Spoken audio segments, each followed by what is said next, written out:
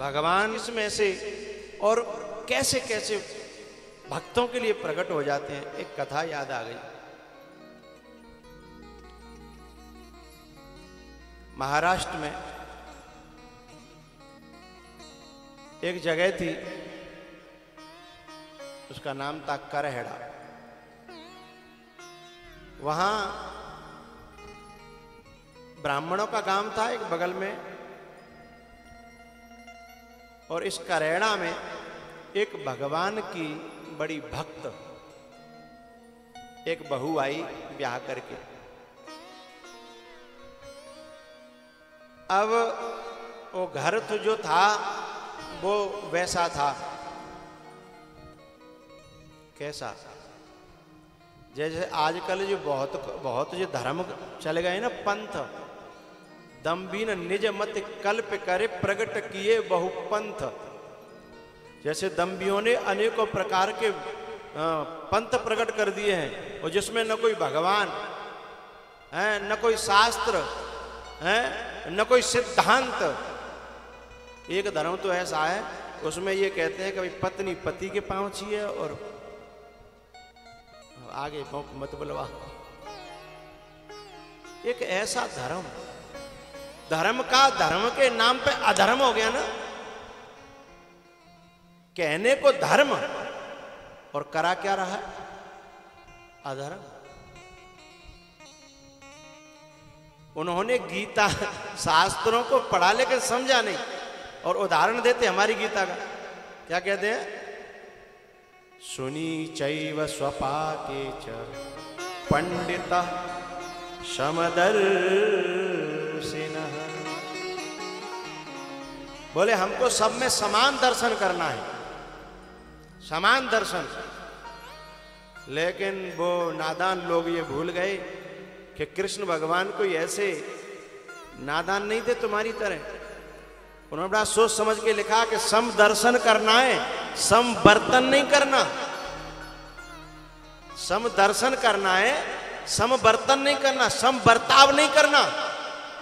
उन लोगों से मैं एक प्रश्न पूछ दूँ कि जब सब में समान देखना है तो फिर माऊ अपनी पत्नी की तरह देख लो। अपनी पत्नी माँ की तरह देख लो। जब सब में समान कर रहे हो तुम, हैं? बर्तन कर रहे हो, हैं? साली को बहन की तरह देख लो, बहन को साली की तरह देख लो। समान बर्तन। पता नहीं कैसी बुद्धि हो गई लोगों की। सम दर्शन कहा है, सम वर्तन नहीं कहा। और उन नादानों ने सम वर्तन कर लिया। अरे भगवान ने गाय एक पंडित एक पंडित जी गए, एक घर में भोजन करने के लिए। ऐसा ही घर था जिसमें सम बर्तन होता। जैसे पत्नी ने पति के पाँव छुए और तुरंत पति झुका, सो पंडित जी बोले, अरे तुम क्या करते हो? बोले, हमारे यहाँ सम बर्तन चलते वो सम दर्शन है। बोलते तो सम दर्शन है, लेकिन करते समवर्तन है। बोले, हमारे यहाँ सम दर्शन है। पंडित जी थोड़े होशियार थे, पढ़े लिखे थे। उन्होंने कहा तो बहुत अच्छी बात है साहब। आप तो इतने ज्ञानी हो गए, पंडित हो गए, विद्वान हो गए हो। तुम्हें तो सब जगह परमात्मा दिखाई देता है। बोले, साहब, हमारे यहाँ तो बिल्कुल सब में परमात्मा, सिया, राम, में सब जग जानी। अच्छा तो बोले, तुम एक दूसरे का झूठा भी खा लेते होंगे? अरे बोले तो रोज खाते हैं। बोले, एक दूसरे का भी खाते हो कि सब में किसी का भी खा लेते हो? बोले, हम तो किसी का भी खा लेते हैं।